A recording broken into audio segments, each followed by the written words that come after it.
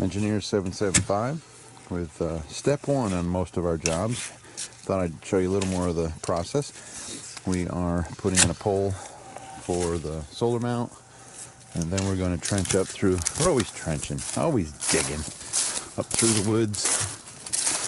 And this one is a commercial well, but it, the static water level is very high. And if you have that situation, you have a lot of options.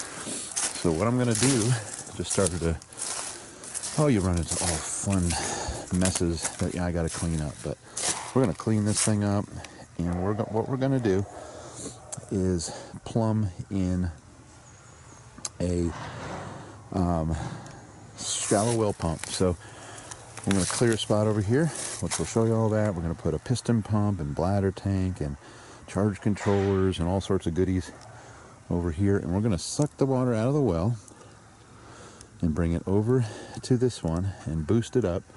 And we're going to do that all with solar in parallel with this uh, house system. All right, we got a lot of a lot of plumbing, a lot of work to do, and that's it. Let's get to work. This is nice to be able to open up a well and see water. Is that a high static water level or what? So close to artesian pouring out. But that's why I'm doing a shallow well piston pump. This well is 300 feet deep. So there's a lot of water storage, gallon and a half per foot. But the water is right at the top. Sweet. Won't take any solar energy or battery energy to suck the water out of this baby. So that's that's a bonus. Ah, this is my kind of well. My well runneth over. It is a uh, absolutely full. it was down about a foot and it's come up to full and it's just dribbling a little bit. So we'll have to deal with that. But uh, awesome. I think it's going to be easy to get water out of this well. What do you think? All right, one of the simplest hand pumps in the world. It is the simplest hand pump in the world. You see, it's just a piece of pipe with a check valve. This water's dirty because it's a we've been uh, disturbing the well and putting steel casing. That's it. And that's it. Just a piece of pipe and a check valve on the bottom, and you got well well water. If your water is below 30 feet. Okay, we've stubbed up our plumbing. What we're going to do here is we've done everything on the well. The well is done. We've come under the frost line and stubbed up inside this little fake rock deal I'll show you here. And then we're going to plumb into the booster pump and then out of the booster pump and then over and in this manifold and then that's going to connect to this which we've already hooked to the house. So we're just making a simple short loop.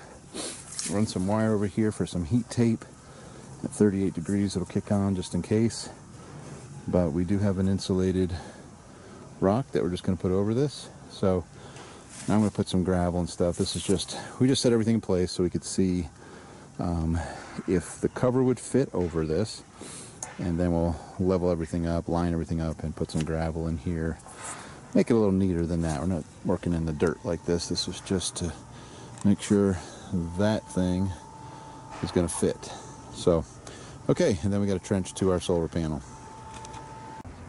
All right, we're wrapping up this uh, shallow well project. We've got a 24 volt system with a Dankoff 24 volt piston pump. And we've done all our adjustments. And we have our charge controller, batteries charging off of solar, about 40 feet away. We've got a heat tape on the critical parts that could freeze, and then we insulated everything too. So basically, the existing well is over there under the rock and we're sucking the water out of that into the piston pump and then just looping around. I pull the water in here through the pump it boosts it up comes through a check valve pressurize the tank back down the ground and over to the house. We're tied into the house plumbing. So that's it. We tried we could do a little siphoning. There's some funky things you can do on a shallow well but we're we're done. And I don't know if you can pick up that number. There we got 25 volts, 26 volts. So our system is charging well, and we're going to cover it up here.